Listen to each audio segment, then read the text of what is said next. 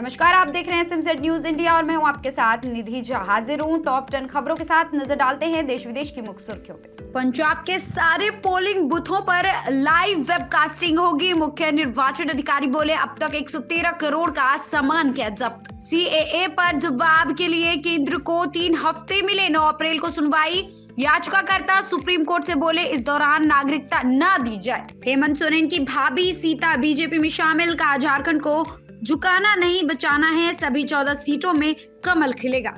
मोदी बोले, इंडिया वाले हिंदू धर्म का अपमान करते हैं। तमिलनाडु में कहा, जिस शक्ति में हमारी आस्था है, कांग्रेस डीएमके उसे खत्म कर रही है। कांग्रेस वर्किंग कमेटी की मीटिंग, मैनिफेस्टो पर चर्चा, पाँच न्याय 25 गारंटी शामिल होंगे।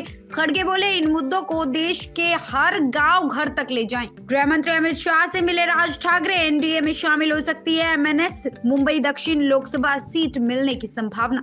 अमेरिकी सांसद बोले सीए को रमज़ान में लागू किया, कहा, इससे मामला बिगड़ेगा। हमें भारतीय मुस्लिमों पर इसके असर की चिंता।